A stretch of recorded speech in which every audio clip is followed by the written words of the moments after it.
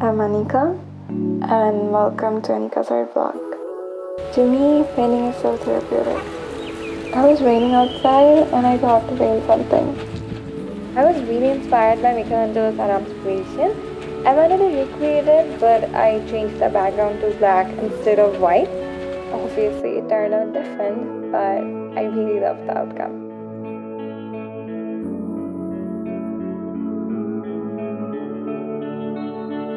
As I had a black background, and I was really confused what to add there.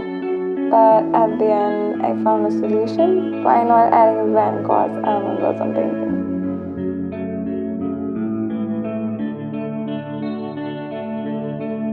I started to add flowers and more details to it. The white flowers really contrasted with the background.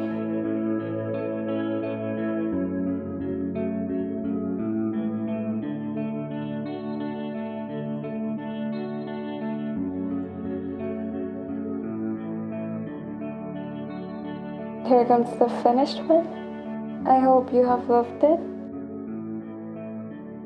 We don't know whether we will meet again or not. Wherever you are, however you are, stay safe and stay home.